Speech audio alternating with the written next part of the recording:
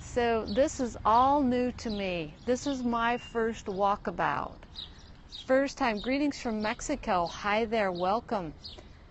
Welcome. Ah, I'm on holiday. Well, I'm on holiday for what? The rest of my life, actually. My whole life is a holiday. I'm just traveling, having fun, uh, just being where I want to be for as long as I want to be right now. Hi there. I'm in uh, England. And then I'm heading to Bulgaria and then to Italy. So if you'd like to follow my travels, you know, I invite you to join me and follow me. Yeah, they do. They do blend in really well. And uh, if you saw the earlier scope, I was asking why all of the red brick. And, you know, I was told that it's because that's the stone that's here. And that, that in the different areas that the stone will be a different color. So I'm going to be able to travel around and see that.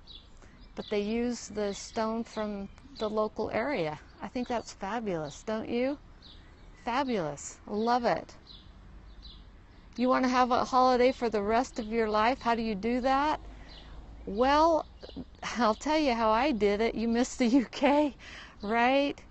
I actually uh, built a business with the doTERRA Essential Oil Company and created some residual income so that even when I'm traveling, I like my business is flourishing and doing well, and it really doesn't matter where I'm physically at. Hi um, I can be anywhere in the world and my business is still running and still, you know, functioning just fine.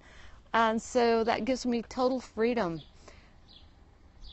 Ah, right? So you want I didn't quite see that. Okay, living the dream. I yeah. I and you know what? I love inspiring people to find a way to live their dream and it starts by just playing, doing what you love today. That's how I started. That's that's what I literally started doing myself. Was uh, I don't know a few years ago. I was thinking about after growing up on a farm. I'll flip it around here so you can see me. I grew up on a farm, and you know it was like if you get your work done, then you can go play. That kind of an idea, right? And one day I had the thought, what if I played first and then I, if I got my playing done, then I could go work, right? So every day I would play. I would start my day out playing and doing something I loved.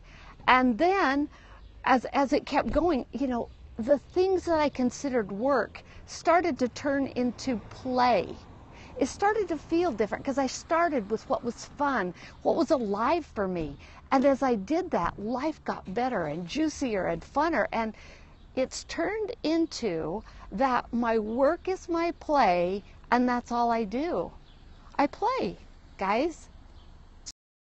You know, what I suggest that you might want to try is start playing.